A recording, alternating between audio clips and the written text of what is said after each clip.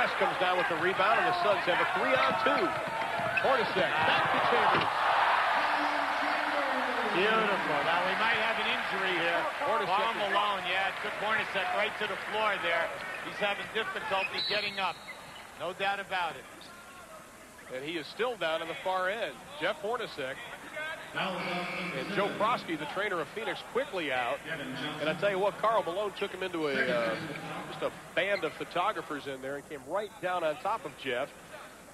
And the team doctor of Phoenix also coming out. Let's take a look at it again. We might be able to see it. Now you'll see it. Uh, here, here they come out on this fast break. Now this is the third three on two. Now watch this pass. Now here comes Malone. Come right down on top of Hornacek. You'll see it now. Here he comes. There's the collision right there with the knee to the head. And then he came right down on top of him and took him right off the floor. Well, Jeff is up and he's walking off the court. He was rubbing the right side of his face and his throat. And he's going to take a seat with Joe Proski, make sure he's all right. And Dan Majerle is checked into the lineup for uh, Phoenix.